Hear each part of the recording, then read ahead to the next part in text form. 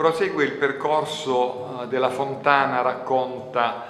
eh, questo simbolo di acquedotto pugliese che sta percorrendo i vari comuni della Puglia in eh, accordo con le amministrazioni comunali che ci ospitano. È un momento importante perché le fontanine sono state il simbolo, sono il simbolo dell'arrivo dell'acqua buona in Puglia, dell'acqua corrente, assieme a eh, rendere eh, alle popolazioni l'importanza dell'acqua, a stimolare al risparmio, a stimolare al,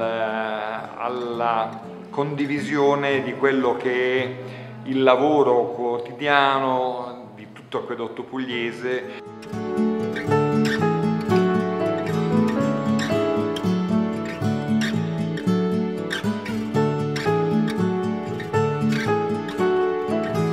Qui a Cisternino questa iniziativa si carica di un particolare significato, cioè quello di festeggiare